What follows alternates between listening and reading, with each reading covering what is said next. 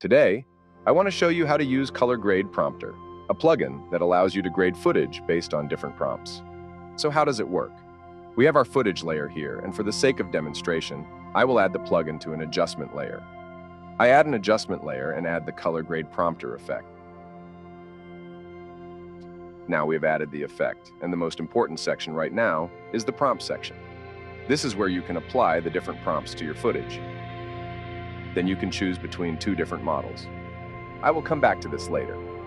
Then there are settings about how to deal with the highlights of the clip, the backend, and performance section, and the settings related to LUT export.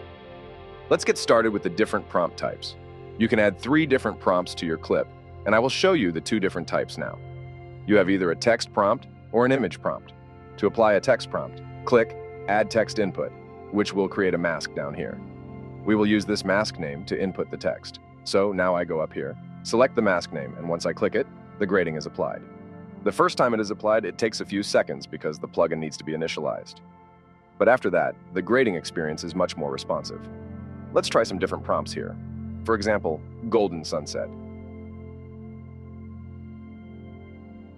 This looks nice, or Red City. This is cool as well.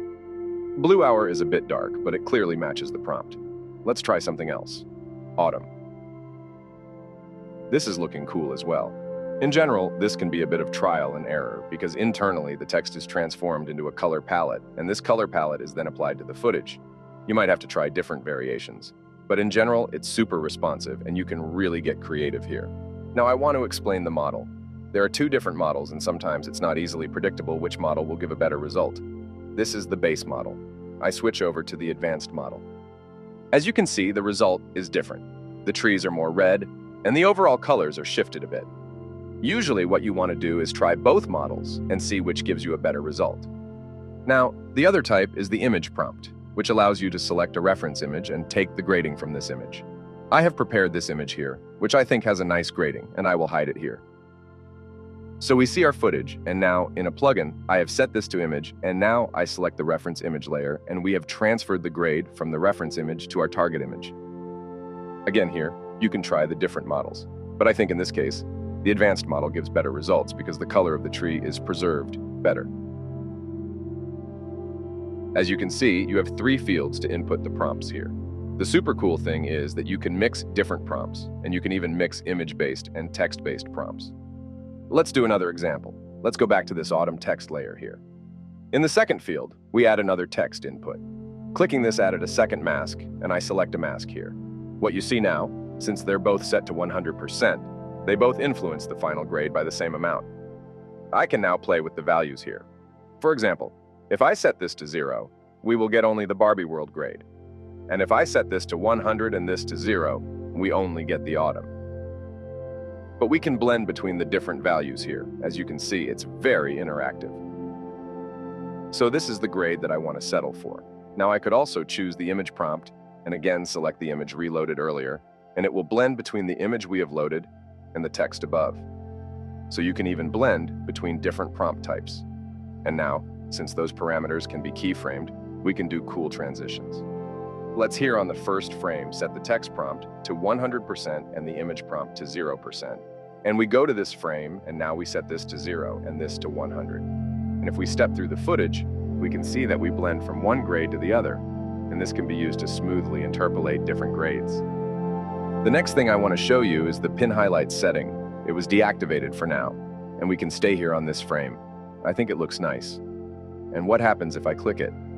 Actually, not much. Maybe you can see the very subtle brighter parts of the image. They are not affected by the grading and the effect is a bit like the effect of the pin highlights. It's not so strong here. But if I decrease this to, let's say four or even one, maybe two, yeah, you can see that the brighter parts of the image are not affected by the grade. And this is desirable to keep highlights to be actually the brightest part of the image. Then finally, we have this overall strength slider, and what this does is it blends between the footage without any grade applied and the final grade that you define by setting your prompts. So if I set this to zero, we see the footage as it is, and I can increase the value here. And again, you see that this is super responsive. Another super cool feature is the ability to export a LUT.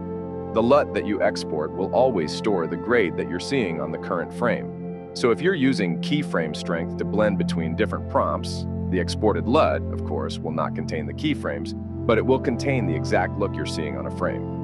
Let's say we want to export this frame to a LUT. Now I just click Export LUT, and it will tell me the location the LUT was saved to. And I can also reveal it by clicking Open LUT folder, and this will bring up the folder where the LUT is stored, and you can recognize the LUT by the name. The name will always contain either the text prompts used and their rates, or the image prompts and their rates. So in this case, because we had a text with 100%, we know this is the LUT that we exported. And now, instead of using the effect, we can add the Lumetri color and select the LUT file that we just exported. And as you see, the colors are exactly as they were when we were using the effect. And the nice thing is, now this LUT file can be sent to other people who don't have the color grade prompter effect. You can even use it on different hosts, like Premiere Pro or DaVinci Resolve, basically every grading solution that is able to load LUT files. And it is also super fast to process. I want to show you another thing. Let's say I'm super satisfied with the look of the grading here, but I don't like that the trees turned out that red.